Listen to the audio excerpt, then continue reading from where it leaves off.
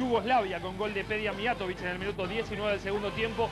Le ganó a la República de Irlanda 1 a 0. Fue el primer partido de Yugoslavia después del Campeonato Mundial de Francia 98.